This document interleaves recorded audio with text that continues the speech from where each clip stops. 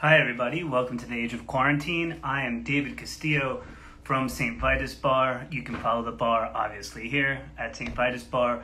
You can follow me at Confines World. I'm being joined today by an awesome friend and an incredible artist, Shari Vari, aka Void Vision. Um, started seeing Shari a while back, uh, kind of hanging around the, the, the weird scene. Back at Home Sweet Home, my best friend Nikki was a big part of that. Then ended up doing Nothing Changes, and Shari's a big part of that scene. And uh, really was uh, a New York City artist that opened my eyes to a lot of different music and, and different aspects of the local scene. So Shari's here. We're gonna hook her up, and let's see what is up. Cheers, guys. TGIF. Waiting for Shari. Waiting for Shari. Hello. Hey, Shari. How are you? I'm good. I ha- can you hear me okay? Yeah, I can hear you fine, for sure. Uh, we're, we're in the studio. We're in the, the synth cave. yes. I felt if I was going to do uh, an interview, I should be in my element. Yeah, definitely. I mean, I'm here, you know, in my, my little room where I make music and I mean, work on St. Vitus, whatever that means nowadays, uh, you know, and just, you know, taking care of stuff. I want to, thanks for joining me, us, all over the internet to uh, do this. Um, I'm not sure if you've seen so many of these, but basically we just go through the musical history of you as a person, starting from from when you're like a kid, you know. So did you grow up in the in the Philly area? Where did you grow up? I did. Um, I grew up around a little outside of Philly, um, but then I have lived here ever since college. So um, I guess I'm a true Philly girl now. yeah, it's Got it, that got it. So It's actually funny that you introduced me as a New York artist because a lot of people actually think I'm from around there because I've played so much there. Yeah, I guess it, I guess I, I I said that and I realized that I kind of fibbed a little bit. because I do know that you're from there, but I associate you so much. At least, you know, I think my experience of knowing you too really started around that sort of weird sort of scene in, in, in New York as well too. So that's me projecting. So I'm projecting. now. Um, so you grew It up feels- in and around the Philly area, right? Um, Yeah. And when you were a kid, what were kind of like the, your earliest memories of just being attracted to music and being like, oh, that's that's a thing that I love. yeah, it started really, really young for me. Um, obviously, I don't know. The first thing I started with was playing the piano uh, around eight, eight, I believe. And um, yeah, I've just, I remember music from the time I was a kid because my mom was very much into music. My dad was really obsessed with classical music, and that was pretty much all he ever played. Um, but my mom was into a lot more with like rock and experimental stuff. She actually likes a lot of weird things, which is cool. Um, she's pretty open. but then around age, by age 10, I started writing my own compositions on the piano. And then around 12 is when I really started getting obsessed with electronic music. Um, I just remember always being gravitating towards any kind of dance song or electronic song I would hear on the radio. And um, I had an older brother who he's about five years older, um, who was always listening to electronic music like Nine Inch Nails and stuff. So I really got into that.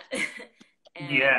So kind of easy to kind of do that. There's always that like key influence, right? Like like your mom being and your father being Mhm. into classical music and things of that nature. It's always interesting because I feel like in a way, like if you got like lessons or like you get handed a guitar early in life and stuff like that, you're not really like making those choices so much, but they're put in front of you to Yeah. like either embrace them or not, right? So for you, did you kind of feel like an attraction to piano right away? Was it like, Yeah. oh, I, do- I like this, or is it like, fuck practice?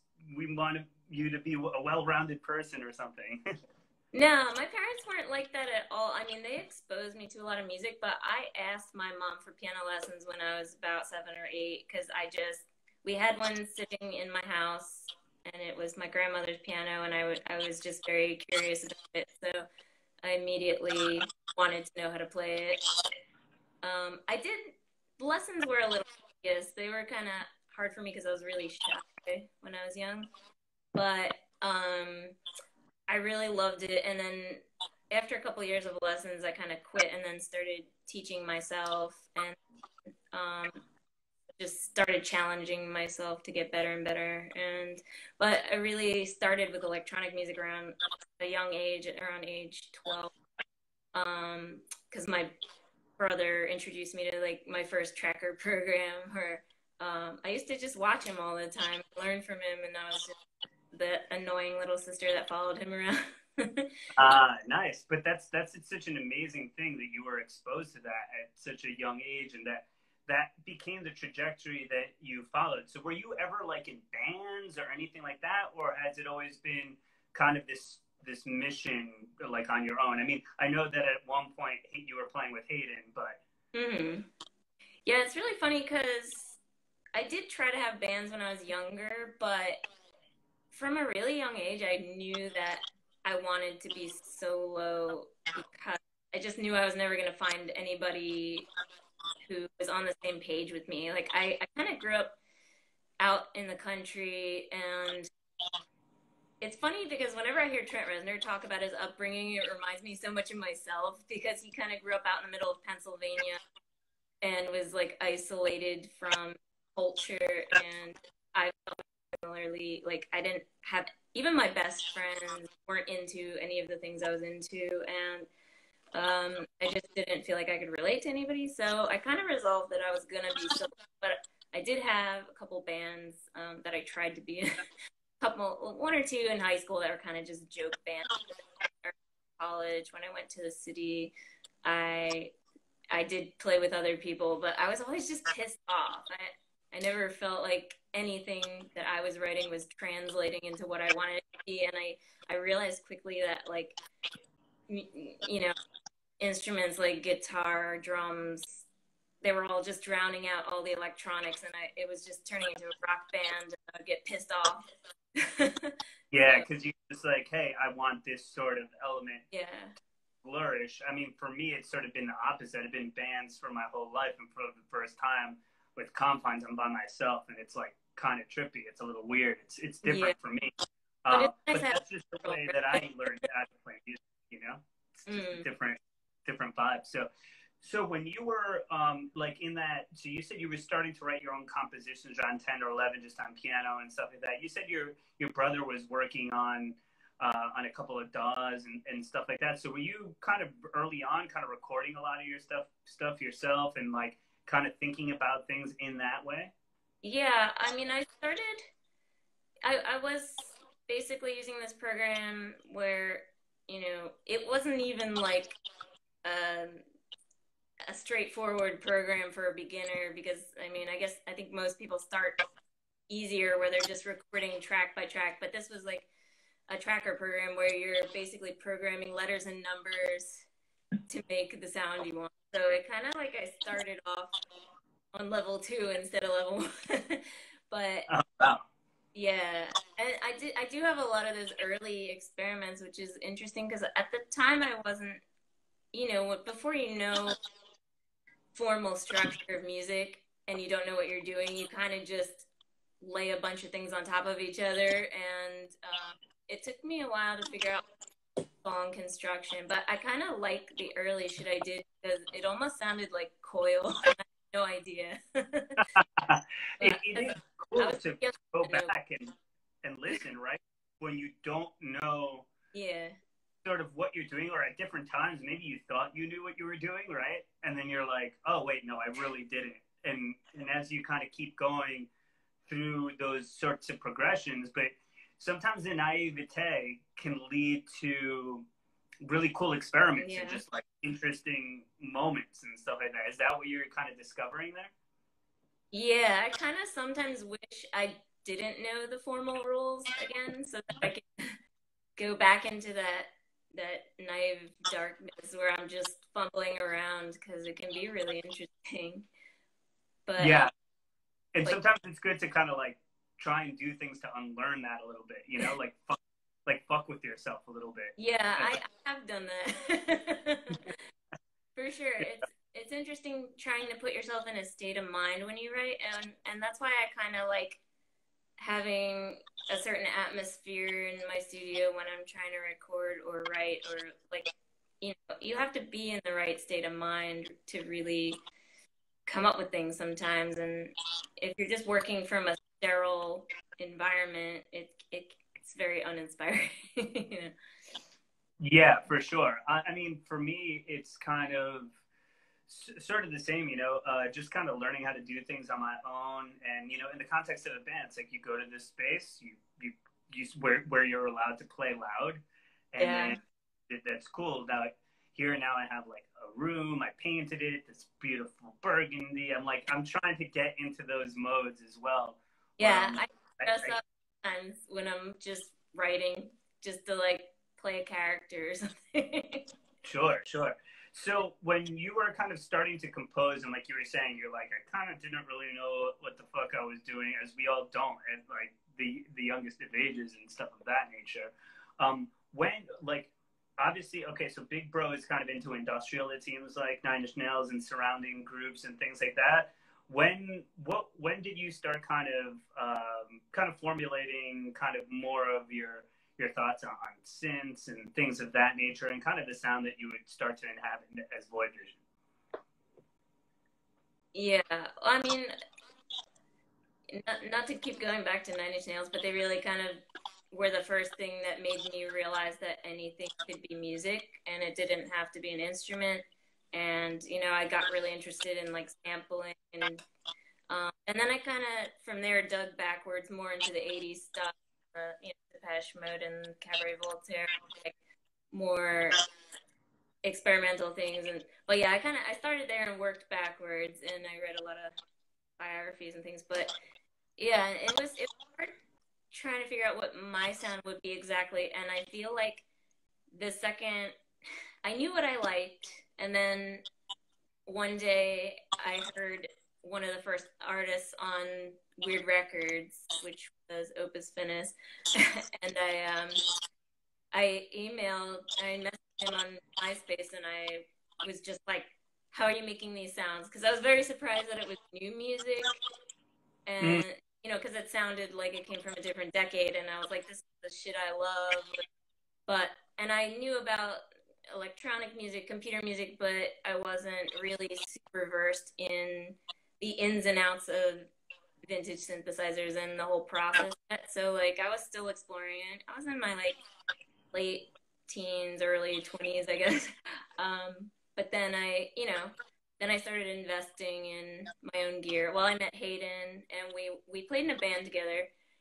And we actually had a drummer, bass player, and Hayden was on guitar.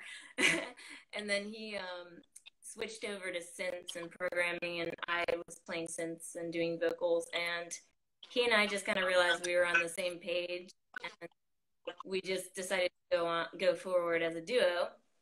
And I, you know, around the early 20s is, I mean, I had written songs before that, but it was hard for me to get them in the form that I wanted them to be in and how I imagined them until I started really researching and playing with different synths and trying to like learn the whole history of them and figure it's like you really the instrument can inform your sound so much and you really have to learn how to use them well to get that picture in your head to come out right.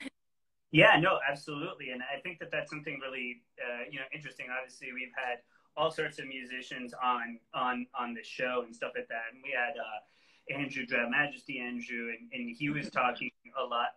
Uh, you know, he plays a lot of guitar in, in, in his stuff, and like very like you know arpeggiated kind of guitar and Mhm. stuff. And he he started talking a little bit about he worked at this guitar store, and then he learned from a friend who worked at like a synth store and that was like a friend that really opened his mind to some of the the kind of textures and things like that that would go on to in, inform his work So for you, it was like, yo, I'm listening to new music, but it sound it, it really had the the integrity of a lot of the things that you loved, and that's how you started to to dive in. What was like the first piece of equipment do you think or gear where you started to really like connect with it in that deeper way where you're like, oh, I'm starting to like get yeah, that's what I've been trying to what that that exciting moment where you're like, yo, that's what I've been hearing. Well, it's really hard to pick a specific piece, but I mean, when I first started, I was kind of working a lot with computers when I was younger, and you know, I, I was a kid and didn't really have much money to invest in physical synths, and the first one or two I got were like digital synths, but they weren't, you know, that special or anything. but they were good to learn on. And then when I was with, you know, Hayden working with him, I started to invest more in like old synths. And I, I guess the first real amazing one I got was my Roland SH 101. And that one really, uh, I love and never get rid of. but, um, yeah, I mean that's just a classic one, and when I got that, it kind of opened up my world a lot. And now, now I have a, a shitload of crap. So. yeah, for sure, and that's you know, I mean, I guess that's that's the thing too. Once you start, you kind of can't stop, right? Yeah, it's, it's like funny, but the thing is, is like every synth is so different, and um, they all have their limitations and their their things that they do well and their flaws, and then they all have like a role to play in the tapestry. You know, they they fit into different sound keys, and it's it's you really have to learn them to figure out which one you need to use for which role. You know? Totally. I think that that's very key too. It's almost like you're casting different members in a band or something as well. You're like, this this one's really good at this. This one's really good at that. I'm, I'm putting different things together in order to to orchestrate what what you really are arriving at and that there's a lot of nuance in this people there's a lot of yeah. homework nuance like you were saying and, and i mean i i hardly know anything comparatively to folks who've been working on this for however many years you know um, so after you were four piece kind of void vision and stuff like that. I think I saw that iteration, by the way. I'm not, I might, I'm not exactly sure. I hope but not. Um, I think the most the, the most memorable iteration, though, at least when I really remember it, was when you and Hayden. It was just you two. I saw you guys at, at Wierd, and, and it was it was great. And then I have the seven inch, and Uh, it just kind of started from there. I mean, obviously, you what was it like when you started first getting some attention from like Mannequin and Blind Prophet and stuff like that, and you started recording a couple of seven inches? What, what was that sort of like time period like? Because I feel like that's when you started to really flourish and started to to work with a, a lot of artists in in that sort of weird slash minimal synth scene that ended up oddly kind of blowing up for a hot second. Yeah, there. it's crazy what it's become. Um, that was really an amazing part of my life that I won't forget. Um, it was a lot. Uh, there was just an energy and like a lot of momentum, and um, I felt finally validated for the first time when Peter School kind of showed me support, and um, the Wierd record scene became kind of my family. So it was.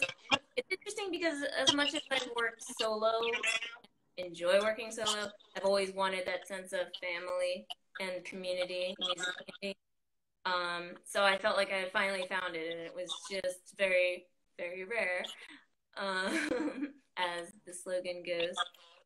But yeah, it was it was really um, there was just a lot of enthusiasm in New York that I wasn't receiving in Philly because I was kind of like a fish out of water in Philly. There was no other electronic musicians around here. It was mostly like indie and garage rock, and um, I was just kind of miserable here. So when I went to New York, I felt like people finally understood what I was doing and the type of music I was making, and they actually appreciated it. And it, it's nice when people enjoy something that you put all your time and passion into.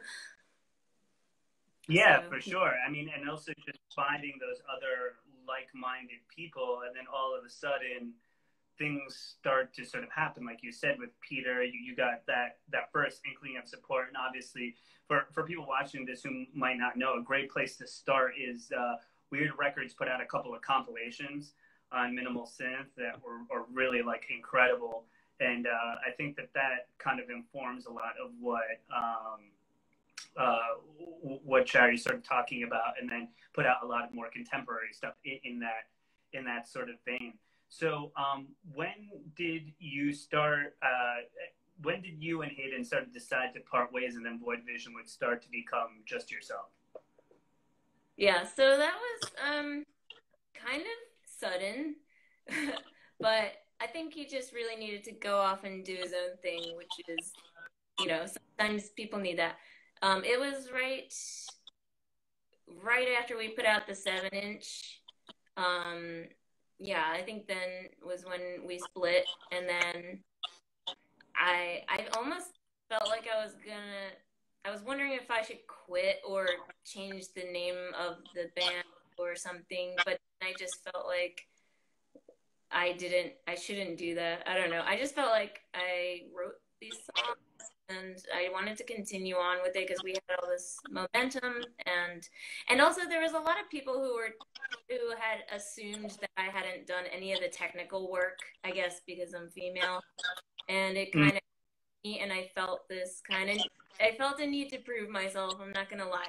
so I was well, like, I which, really which, determined.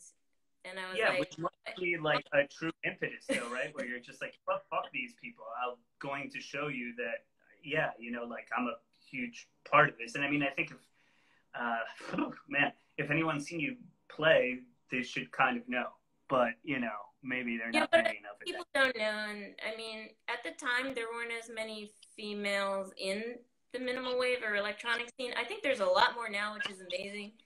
Um, but at the time, it was, you know, typically if there was a female in the band there was like also a guy doing a lot of the technical stuff or whatever and i just felt like um, it was females weren't really represented as much in the scene and uh, i felt like why should i quit? And or why should i let people assume that i don't have the technical skill to continue you know? Um, i just kind of got determined to shake that off and um, yeah, I'm glad I went forward. And Hayden's doing great now, and he moved. I mean, all the projects been in since then have been amazing, and I'm to death. Just yeah, um, yeah, yeah, oh, yeah. I mean, which which is great, and I think also it gave you the avenue as well. Like you said, sometimes it's true, right? Like you need to kind of be a part to both, like sort of fully flourish, and that's sort of what I what I've seen as well because sure. I, I love the stuff that you people are just alpha and they want to have control over their creative project and they want to do what they want and i think that that's important sometimes when you're an artist and you have a strong vision and like when you're in a band it's really hard to get everyone to cooperate and to not have their egos dominate everything um, it's hard to control your ego and know your place in a band and sometimes people are just you know some people just need to be the leaders of something and I think I was also that kind of person. So I, I think we both just had to go do our own projects and, you know, no bad blood or anything. I, I'm so proud of him. yeah, no, that's, I mean, that's, that's great. And it, it really worked out.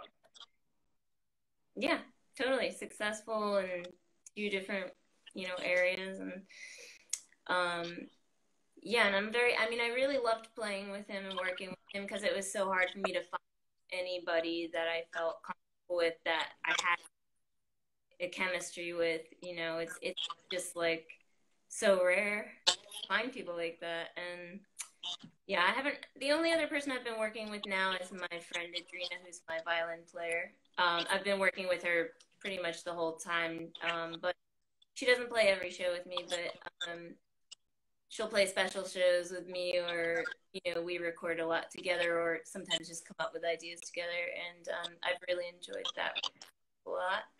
I mean yeah no I, i've noticed that too. I was actually going to get there too because i was like there is a violin a violin player but um, so once you, you you kind of parted ways with hayden and you guys went off to do your own thing i mean I feel like a lot of stuff started happening, and then you know, Sub Rosa came out, and like it was a, a whole other kind of I think moment for you as well, and you started touring like kind of a lot, like going to Europe and doing these bigger tours with like, you know, um, I'm not Martial Canterel, and also why am I forgetting Sean's other band? Why can't I remember it?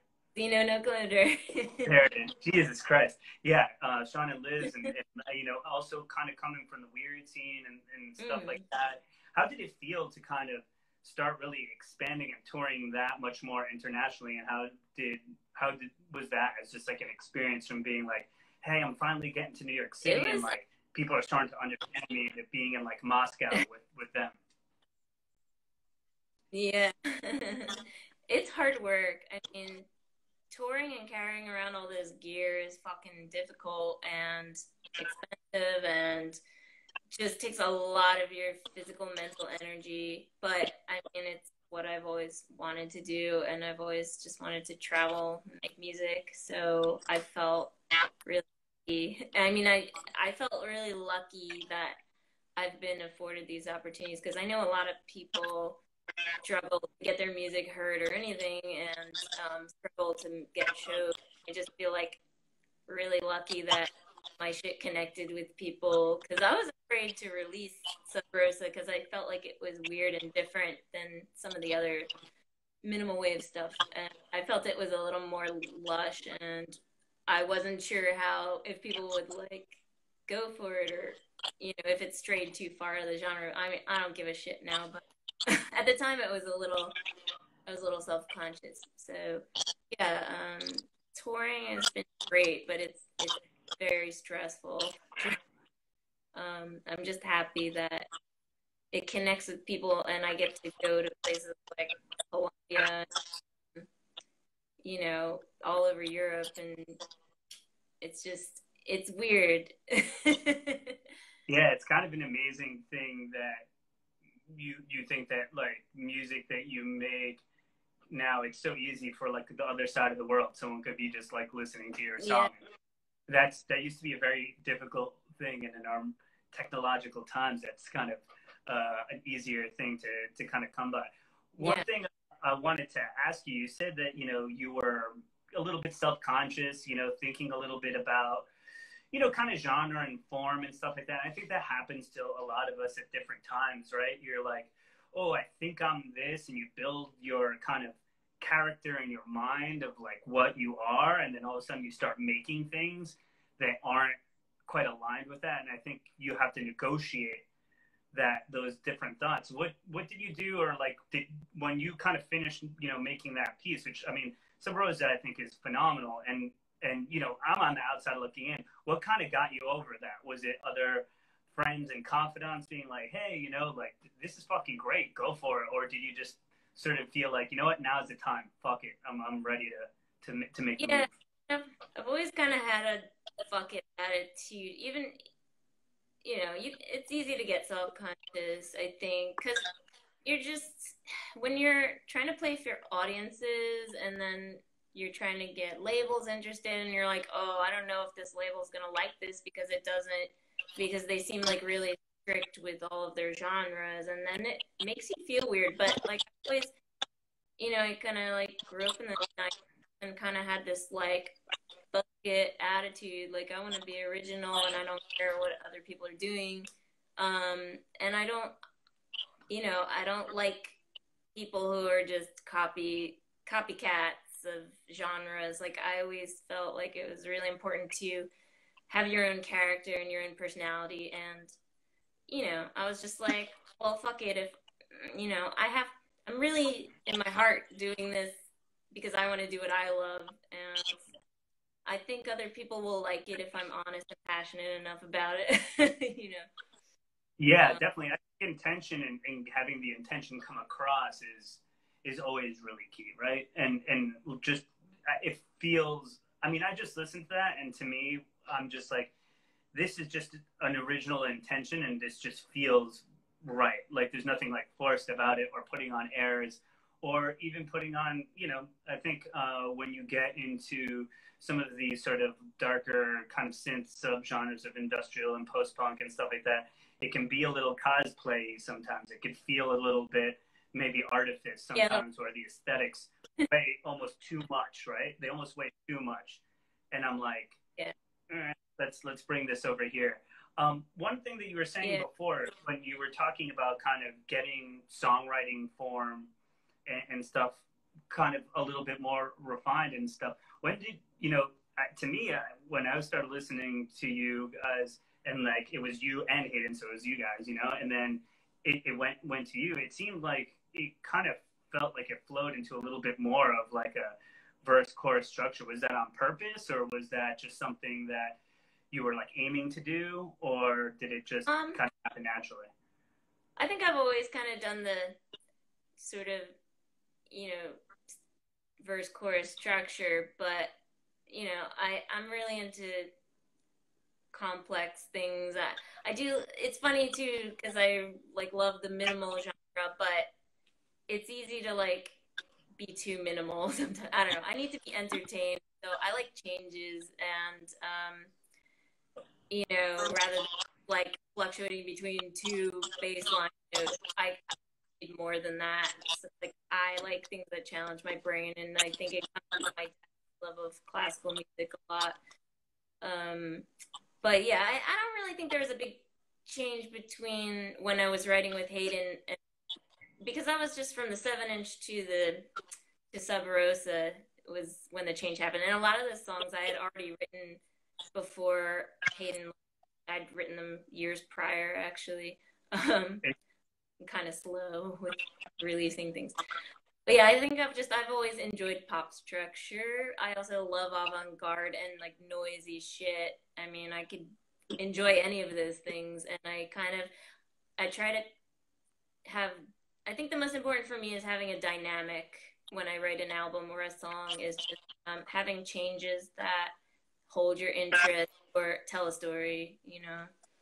Sure, yeah, absolutely. And it's interesting that you point that out because for me, the chronology you're giving us like the internal chronology, which is interesting because we just know it like this comes out, then this comes out, and therefore that's you think how it was written and stuff. But you're saying actually this pre almost predated that, and or it was the same all the same time period. It's just really interesting to sort of to hear that for the first time because to me I'm just like oh all right you know from the fan perspective you're like oh it was this and that. Uh, speaking of, you're like, yeah, it takes yeah. me a while to, to put shit out. Um, it, yeah, it, I think I, I have a weird brain that needs hooks, you know? yeah, no, I love hooks too. I mean, to me, it's uh, like you said, I, I, you know, you can sort of anything can be good if it's kind of pulled off well eh, or with I think a good intent. It's just how you do it. It could be the most minimal like techno song or minimal synth song. Very simple, but it just really depends on what you're after and what what you're what you're really shooting for, what it is right. that you you want out of it, right? So right. Uh, that that sort of depends. So when did you start adding in the the violins and stuff like that? Because I saw one performance of the violin, and it really was like I did not expect it at all. Uh, what it's was that sort of like? She's actually been playing with us since Hayden was playing with me. So um, we've all played together but you know, I just I started working with her a little more after Hayden left and recording more with her. Um, but yeah, she's been there since the beginning. I had no idea. That's great. Yeah.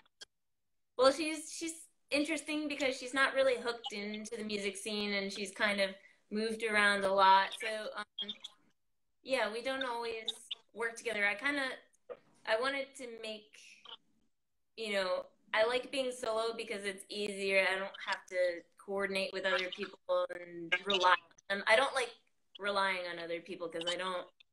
Um, I just like being independent and able to be free and that.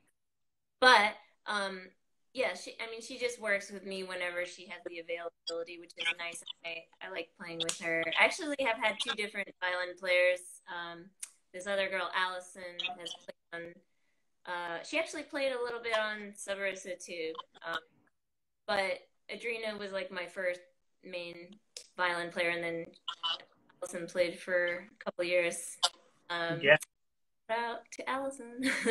that's great. That's that's cool. It's interesting too. Like you know, even as being like a solo artist or whatever, it's like you have. I feel like you, like you said, you found a community. You build a little community around the project, and you have people that you ask for maybe some advice or tips or to play with you, other things like that, and you, you kind of build it around yourself um, a, lot.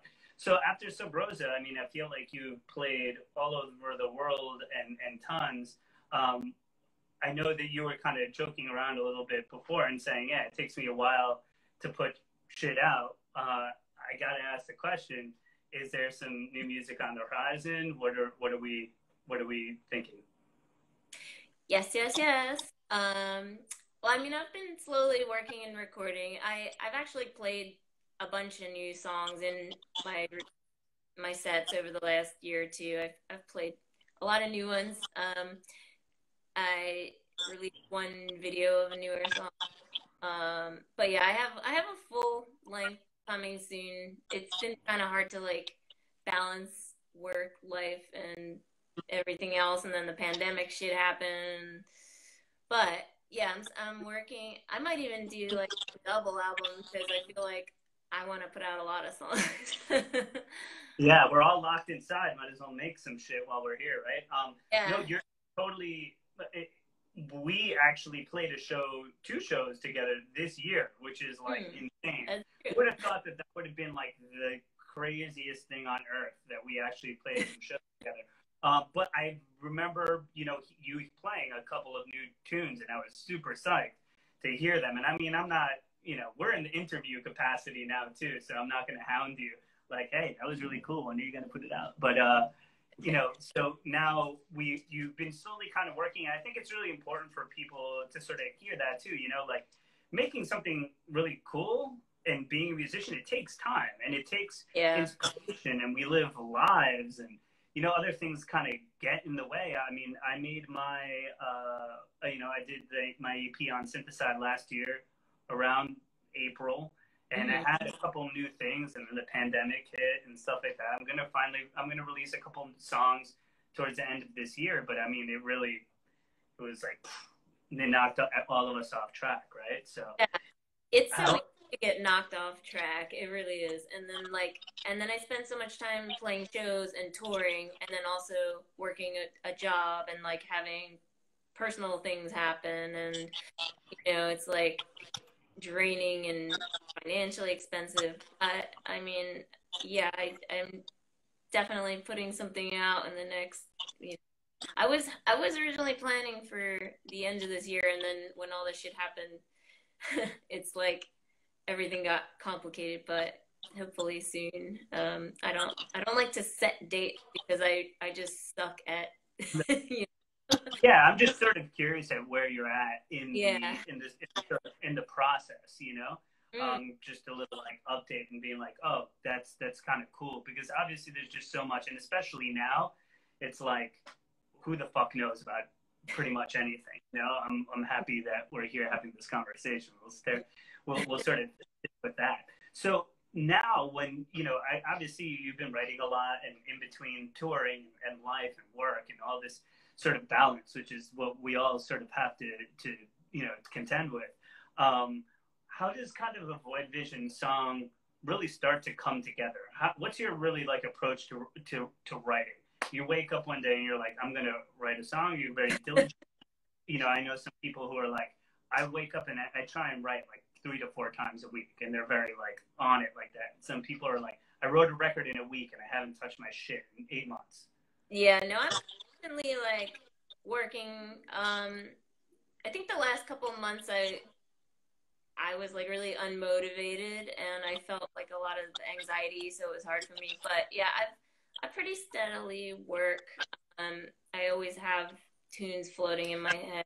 Thing. Um, I kind of have this practice where I always write lyrics or poetry, or even if it's just like an exercise. Um, and I've done that since I was really young, like 12. I, I'm just constantly writing the thoughts in my head to sort them. And I think it's really good practice. And I think like you need constant practice like that in order to you know make progress. But um, yeah, I uh, I usually just I sit down with my shit, and especially if I'm excited about a new piece of gear, I'll play with it, and then things just come to me and I don't know. There's always like tunes swirling in my head. I feel like my brain is just very um, tuned into sounds and music. Like ever since I was a kid, I was always humming every song I would hear on TV all the time, constantly looping music. I don't know. that drives me insane. Yeah, no, I mean that's kind of yeah. Some people are really like that. For me, I kind of have a lot of phrases that I kind of hear, and I mm. always like would write things down for the band, just like, "Ooh, those words sound cool together," or "I, I love that," you know. And it could be the most just listening to the news or sports talk radio or anything, you know. And I just, yeah, I just grab these two little pieces, and before I know it, I have this just collection of like three word, two word phrases, titles, and I try and find the the common threads. I think we all have little devices like that for yeah. ourselves to get it going a little bit. Yeah, and I think it's like a way when you're going through life to try to you look for signs and symbols and the things around you and you try to make sense of your own psychology by like relating to these symbols that you see in the world, you know. And you're like you see met I see metaphors everywhere I look. So I'm always just coming up with ideas through little things that happen here and there, you know. Sure, yeah. Uh, do, would you say that when you're coming up with songs, are you a little bit more like like vocal melody first kind of person, or does it really kind of come a little bit more with, with kind of beat production first a little bit? Like, what would you say you kind of kind of air towards? I mean, I know it's not some strict line here, but it usually comes to me while I'm, um, it kind of comes at the same time, like while I'm fucking around with a, you know, a tune or a loop I made, I'll just hear the vocals come to me, and sometimes I'll have to change the lyrics, but I usually will something will come to me, and then I just, you know, I'll use like filler lyrics sometimes, and then I'll refine them later. But occasionally they come fully formed and I don't need to change them, but that's kind of rare. It's usually like mm, come up with a tune and then the vocals kind of come with that. Like they fit in. I don't know how to explain it, but yeah, I, I find yeah. myself really like inspired by the sounds themselves. Sometimes, some sometimes it's not even melodic. Um, it's like the tone or the texture will inspire the direction that I go in, you know. Yeah, and I think it kind of can inform like where you where you fit in or where what what kind of where where the sort of like open spaces for you, your voice to inhabit or, or something else. I mean, I've been learning a lot about that too, as far as you know, I like kind of very heavy percussive, and for me, it's really like drums and bass. My stuff's very techno-y, so it kind of has a little bit of, of that vibe to it, but also uh, I can't pack everything down into those low frequencies all the time either. Yeah. And just and just finding space, and I've started singing a little bit on, on my stuff, and just finding those spaces. I always think is kind of interesting. You know, certain people where they start, like, oh, now I got to fill in these more percussive spaces here, because you know, some people are just melody machines. They're just like they, mm, oh, cool, I wrote that, and that's cool, and then they go the other yeah. way. I, I can't imagine that honestly. For me, it's completely the opposite. Yeah, I know. I love rhythm too. I mean, I'm I'm super into beats that are more, you know, more than just a four four beat. I really in, think that the rhythm can, is just as important as the rest of the song, and I love experimenting with that. I mean, that was one thing I also really love about Nine Inch Nails. They always had these like very odd rhythms going on, or um, so yeah, I mean, and I think it, I think it's especially important because it really breaks up the dynamic on an album when you have, you know, it's like sometimes when you're doing a DJ set or techno set, everything can just sound the same because it's like the same beat, the same BPM. But when I'm doing an album, like I really want it to move in different directions. You know, even with my live shows too, I like I have a um like a you know start off with something dramatic and I kind of build it up and then break down and then have like a you know finale. Like I like that it's exciting and I like the albums to be dynamic in that way.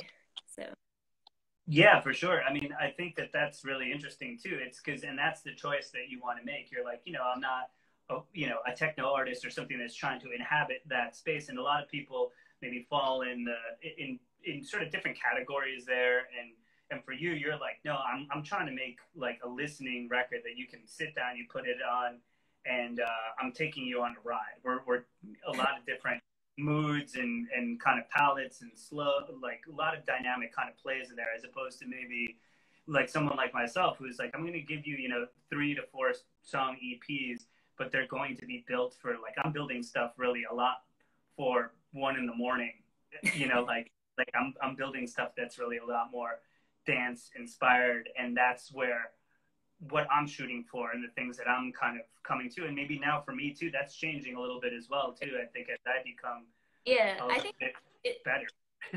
honestly, it always depends. Like, um, I mean, there's music for every purpose, mood, and like you know, when I'm working out, I want a certain BPM, and I want this style and um and I think it's fun to to stick to that and it all just depends on what your goals are but um yeah I kind of I guess for me it was like very important for the album to be personal and I do I love the dancey shit too because I love playing that live. I love how people respond to it and like I really I want an energy in my sets um but I also just really admire when an album is more than just a collection of single songs. Like I want them all to work together and more of a concept album, I guess. Like I put a lot of thought into the concepts of the album as a whole and not just individual songs. so, yeah, um, and that's a lot of that. Yeah, and I think that's a beautiful thing because in an age of like the single or whatever, you're really sticking true to being like, I want to make albums and I want to have that depth to it. And when you get something from Void Vision, that's really where what the unit is. You know, we're making albums and we're giving you that, which is really cool. It's it's a it's a, a certain approach, and it's got its its own kind of weight and, and, and merit to that. I want to talk a little bit about the the live show. Um, we got about ten minutes left, and obviously the live show is is great. And for anybody, if you you haven't had a chance to see Shari, she'll slap schlep all of her synths to you uh, at a certain point when when this shit's over. But um, it's really amazing to see one person really playing so much of the synths, singing, doing all of this stuff at the same time. Really, just kind of, I mean, to me, I'm, I, I sit there and I watch, and I'm blown away at all of the different things that you're doing to kind of just create the show by yourself. Um, how is it kind of bringing that show together from from that sort of perspective in terms of okay now all right i wrote all this stuff. How am i going to kind of pre- present that from that point of view? Because you're doing a lot. You're singing you're playing bass lines you're playing leads. I mean Shari's out there like doing it all. So tell, tell me how, what it's like to put a show together. Yeah it's hard but i guess i got used to it but um, I mean, I really like having all my gear to hide behind, I guess. But I am sometimes a little self conscious of not being able to be more mobile and move around the stage. Because I mean, I do. I like to entertain and stuff, and sometimes. Um, like, am I being boring right now? because I'm very uh, self conscious. But I like having all the gear on stage because, um, you know, I show people it's live I want to, you know, there's no laptop. Uh, I like the X factor of, well, you know, using analog gear or things that aren't functioning quite well, or me being drunk uh, and fucking up, or playing something different and improvising. so I like all those X factors because it adds, it, it makes it different than just turning on a record and listening to it. And I I always try to do the live shows as close as I can to the record, but sometimes I, I like to embellish and add in certain parts and like build them up and make them more grandiose. Than the album. So because I I always enjoyed when other artists would would kind of make things even more dramatic live. You know, like yeah. Um, yeah, I just I want to go to a show. I don't want to just listen to a record. I, I I want there to be a little danger or unpredictability or you know. yeah, no, I think that that's totally right. I mean, that's how you're going to see the the live show and then the presentation of these things. So yeah, to me, I mean, technically it comes off beautifully, and I've sat there and I've watched that way, but it's also um, the crowd's having fun. People are dancing, people are singing along. It's it's a really it's a it's a really nice show, but it's also just so. Uh, I mean, I just you're by yourself and you're pulling off so much. So I'm just was like, okay, every moment you're you're doing something. There's no like moment of rest or anything. Like if it's happening, you're really in control of it all. Yeah, it's, it's exhausting. I actually tend to I usually go into kind of a trance when I play, and sometimes I can't even remember it. um, because it's, I mean, sometimes you can see the audience, sometimes you can't at all because the lights are blinding. Um, I like, sometimes I look down too much at what I'm doing, but I always, and more recently, have been just trying to connect more directly to people because I really like the direct connection of like when I look up and I see someone and they're like mouthing words to me, and that's really special at, those moments. Um, but yeah, I, I, agree with you about kind of the going blank sort of thing too. Mm-hmm. I think a lot of the best shows that I've ever played, um, whether it be confines or like playing in bands, which you know, and, and singing and stuff like that, is the shows that uh, it's almost like you get like a runner's high or something, and yeah. then like like you're not thinking about shit, you're just doing, and then at the end it's almost like you woke up or something, like you you passed out, and you're like huh, and and you were like dude that was sick or like that was really fun or or you felt it, but only got a couple of snapshots. You're not in your head. When you're in your head, those are like the worst shows. Am I? Yeah. That, aren't those yeah. the worst shows? Yeah, truly. no, I, I like being in this state of mind, and especially because I think I have to do that because I'm a little um, self hating or self conscious. So I kind of have to separate myself from myself and, um, you know, just put myself in it emotionally and passionately because i think if you're scrutinizing yourself too much in every little thing you're doing you're not really focusing be on being honest and giving an honest performance, you know. And um, yeah, you just have to like remove yourself a little bit. Absolutely, I, I, I think it's really true. It's like we're going, we're, we're just like losing it for a second, and that's like a very beautiful uh, thing. As far as yeah. you know, you presenting yourself live too. That's obviously just from the sort of the the aesthetic, the physical aesthetic too. It's like that's grown a lot as well to the point where now you know you you kind of have like a void vision with the the face jewelry and like certain things of that nature, which has become kind of uh, a bit signature, which I think is fucking great. And and how did that sort of come to sort of be the thing that you inhabited? Obviously, that's very purposeful. I'm not sure if you're walking in the streets of, of Philly rocking that all the time, but how how how did that kind of come to pass, and, and what made you want to kind of bring those aesthetics to um, Vision? Yeah, I've really just I mean, I've always been a crafty person who likes making shit and um but I think I've just I've found I used to hate fashion when I was younger because I just thought it was shallow.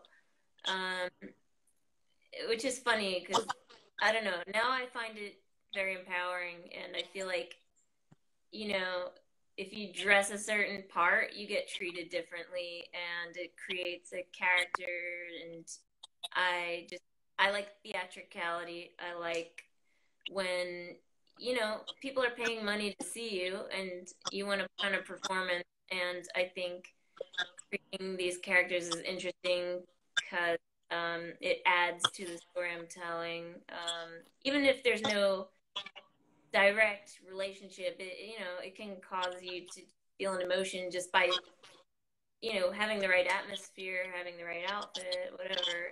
I think it's important.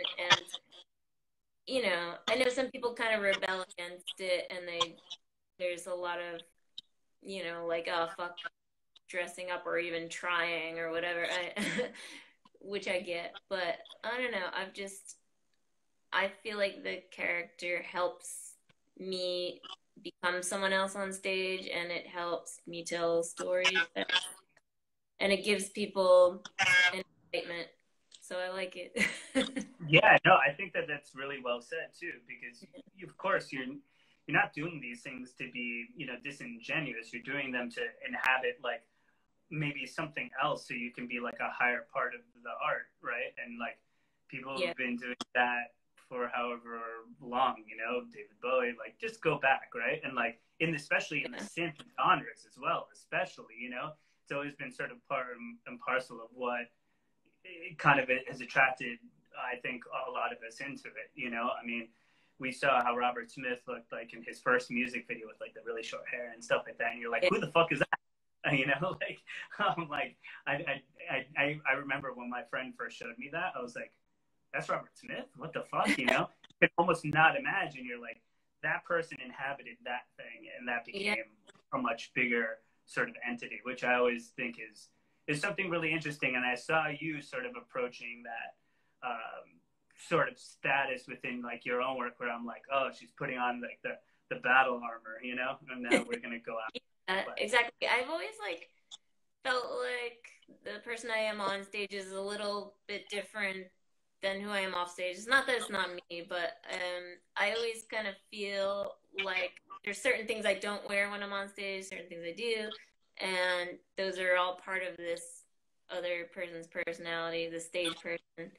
And um, yeah, it's just interesting how different people treat you depending on how you're dressed, or you know, they they won't respect you if you, you know, it is shallow. People are shallow. They judge on visuals and I think it's an important part of conveying what you know what you want to convey visually. It, anything visual, whether it's music videos or you know what you're wearing, is a part of the music performance and your message. Absolutely, it becomes that way whether you want it or not. You know, if you're trying to do it in sort of the negative, it becomes a sort of a counter aesthetic anyway. So no matter what, people are going. You're, if, as long as you go step out on a stage, uh, you're there to be judged anyway, in a way. So, or yeah. maybe to be good or to entertain or whatever have you. But that'll uh, definitely be a part of it. So we got just like another minute left. I just want to say thanks so much, Shari, for coming on, sharing this, and you know, thanks for sharing.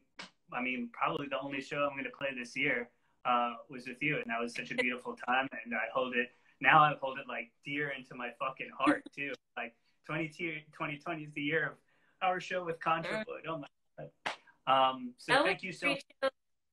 It was so nice having you here. yeah, those shows were incredible. Uh, and they were great. And I was so looking forward to keep building off of that. And I think I could say for everybody uh, watching and, and checking this out, we're all looking forward to music whenever it comes. Stay patient, people. Great things take time. All right. Thank you it's so much, Sharon. Take care of yourself, be well, and hopefully we can see each other uh, after all this bullshit's done, all right? Thank you so much. Take care. Ciao.